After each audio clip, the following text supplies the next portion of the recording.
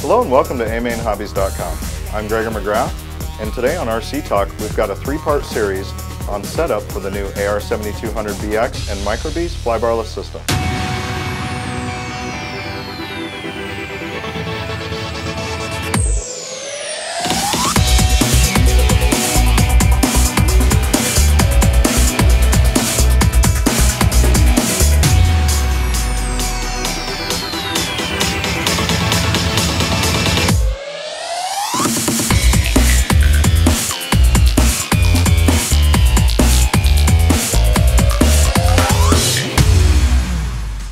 Being the lead heli tech here at AMain Hobbies, one of the most common requests I get is how to set up the Microbeast flybarless system.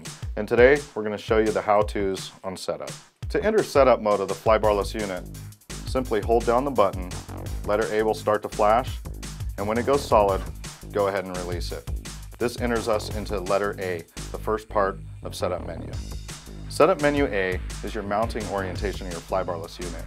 This particular flybarless unit is horizontal, to change the status of the flybarless unit, in case you have it mounted vertically, simply move your rudder stick one time to the red color. This will put you at vertical. This particular helicopter has a flat horizontal mounting orientation, so I'm gonna go ahead and choose the color blue.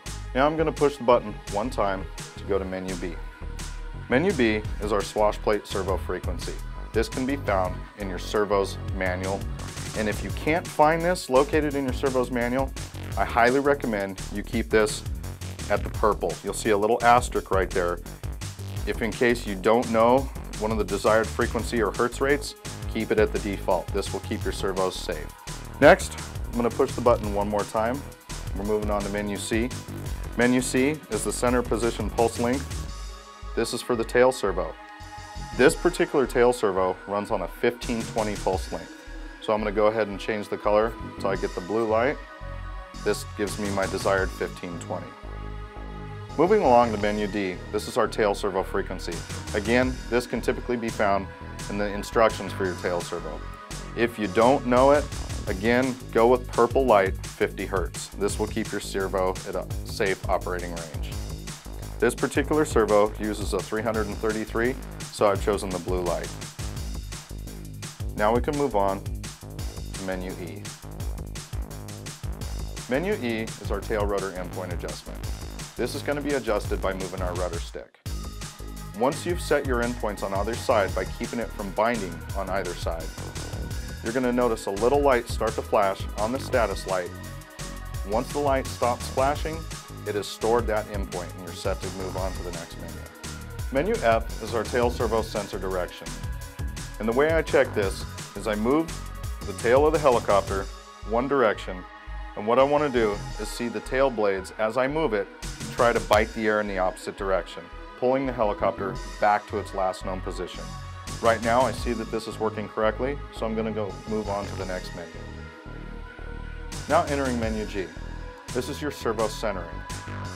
To enter the servo centering menu, you're going to take your rudder stick and you're going to move it one time. But while you do that, keep visual on your swash plate as you enter the menu, you saw that my elevator servo chattered several times up and down, indicating that this is the servo that I am now centering. To center this particular servo, simply use your elevator stick up and down. Once that is accomplished, you're going to use your rudder stick one more time, keeping visual on the swash plate, chattering my next servo to be adjusted. After you've adjusted that servo, again, use your rudder stick one more time, indicating that you've now adjusting your third servo. Once you've done that on your third servo, do not hit the rudder stick. Simply push the status button one time to enter the next menu and it has now stored the last inputs that you had put in. And that completes part one of the Flybarless AR7200 and Microbeast setup.